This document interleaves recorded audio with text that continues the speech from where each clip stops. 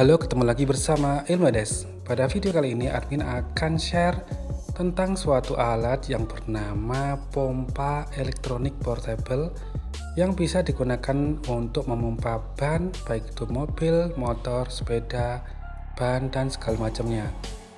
Ini saya beli online, harganya sekitar 200 ribuan, mereknya Rundok. Biasanya kalau teman-teman tuh belinya pada yang merek Taffer. Ini karena saya mencari yang lebih murah gitu, saya milih yang Rundong.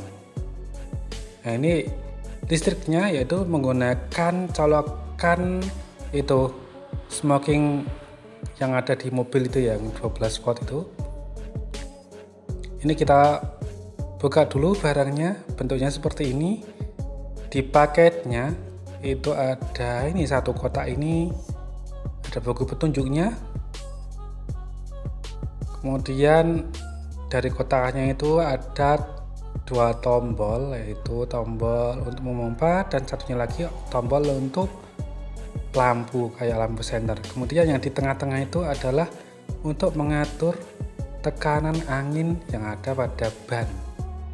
Misal kalau ban kendaraan mobil itu ada 32 36 ini di bagian belakang ada itu sambungan untuk memompa ban kemudian sambungan apa lagi saya kurang tahu yang lancip itu.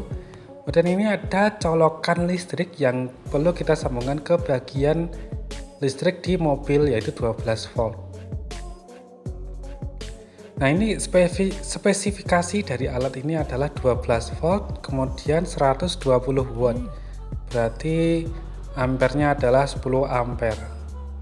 Ini tinggal kita colokkan saja ke mobil atau colokan mana aja yang 12 volt 10 ampere nanti bisa kita gunakan untuk memompa. Ini di bagian belakang ini kabel atau selang anginnya itu juga ada dudukannya jadi rapi gitu ya. Tinggal kita susun kembali maka alat pompa ini menjadi rapi kembali.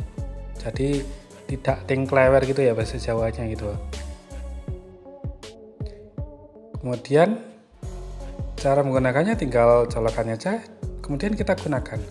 Nah ini kebetulan bagian kabelnya itu basah. Kalau ini baunya adalah bau apa ya bau pelumas gitu ya. Sepertinya di bagian dalamnya itu ada pelumas untuk pompanya perlu kita bersihkan terlebih dahulu biar nyaman kita gunakan nah ini sudah selesai kita bersihkan. Kemudian kita perlu bersihkan lagi apabila ada bagian lain yang terkena minyak juga. Biar nanti nyaman apabila kita gunakan. Mari kita coba gunakan pengaplikasiannya pompa elektrik portable ini. Ini kabelnya sudah saya sambungkan ke bagian colokan listrik yang ada di mobil yang itu ya yang biasanya kita masukkan charger mobil atau untuk menyalakan api untuk rokok gitu ya. Ini udah kita sambungkan ke listrik di mobil mobil kondisi menyala. Kemudian tinggal kita setting pakai tombol yang di atas itu kemudian kita gunakan untuk memompa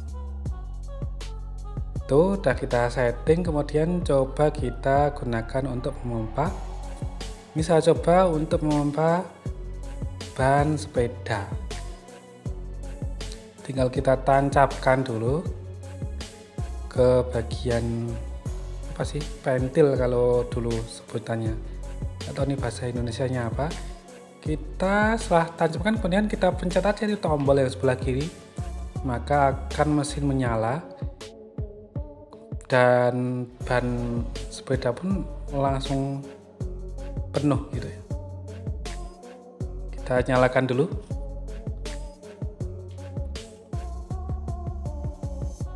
Nah ini angkanya nggak kelihatan sepertinya karena terlalu jauh.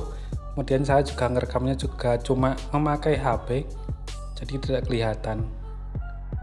Di bagian yang layar biru yang menyala itu ada angka yang tertera misal 3,2 PSI atau yang satunya lagi berapa gitu ya. Tinggal kita setting terlebih dahulu kemudian kita nyalakan sampai alat ini berhenti sesuai ukuran. Atau kalau kurang yakin ukurannya berapa maka kita bisa menggunakan tangan untuk mengecek bannya sudah cukup angin atau belum. Kalau sudah cukup ya tinggal kita matikan saja pompanya secara manual. Ini kita coba untuk memompa ban belakang sepeda. Tadi kan yang depan sekarang yang ban belakang. Kita coba dulu. Simpel sih menggunakannya. Tinggal itu ya seperti layaknya memompa biasa. Cuma kan kalau memompa biasa biasanya memakai tangan sama kaki. Nah ini tinggal kita pencet saja. Maka anginnya tersembur dan masuk ke dalam ban yang kita pompa. Nah sudah. Tinggal kita masukkan. Pencet. Sudah selesai. Kita pencet dulu nah itu. Akhirnya selesai juga memompa ban sepeda dan cepat praktis menurut saya. Secara keseluruhan alat ini sangat mudah digunakan cuma sayang pada waktu saya membuka ini ternyata tombol yang atas itu agak kendor. Sepertinya ada yang patah. Nah nanti kita coba betulkan. Sepertinya tinggal kita lem saja udah beres Mungkin itu aja video kali ini. Jika dirasa video ini menarik, jangan lupa dukung channel ini dengan cara klik subscribe, like, dan komen. Sampai ketemu lagi di video berikutnya. Salam ilmu des.